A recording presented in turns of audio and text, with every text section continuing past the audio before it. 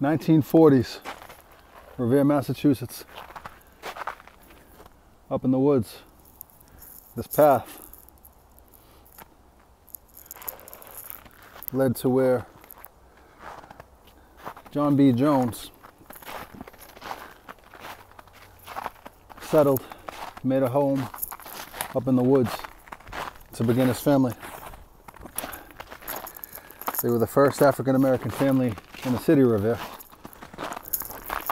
He couldn't afford much, but he hustled, he welded, made some deals, and uh, was able to put up this small foundation out here in the middle of nothing. But he built a home and he began his family.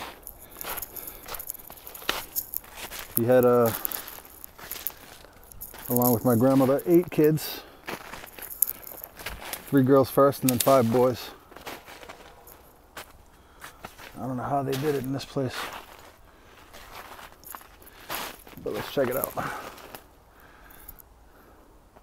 So I'm not sure exactly what these would be, if those are doors or what, but let's go inside.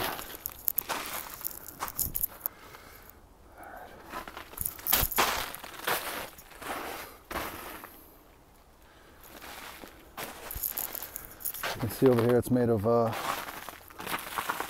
fieldstone.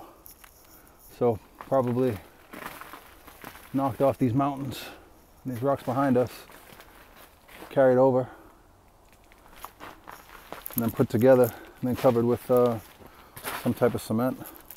I'm guessing these are windows, and my thought is that little stairwell right here, where the front door might have been. Step down inside.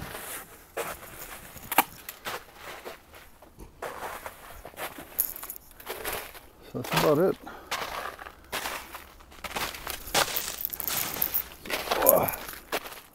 It's just so cool to actually be here and uh, walk around the spot that my dad was born. He was born here in uh, January 26th of 1943. And there's a massive blizzard. And uh, my great grandmother lived across the highway and uh, technically it's Malden, but uh, it's over where Lowe's and the Palace used to be. And um, she trudged through the snow, all the way through the woods, down this path, and over to here to help my grandmother give birth to uh, her first son. I think I figured out the layout of this place. So this is the front door. All right, and so where we were just in I want to say is the uh, the basement sub level.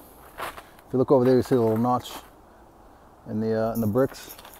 There's a matching one on the other side, and my guess is that would be uh, where the support beam went to help hold the uh, the floor in place.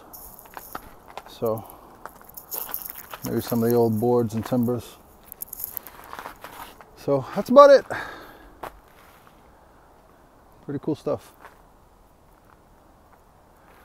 All right.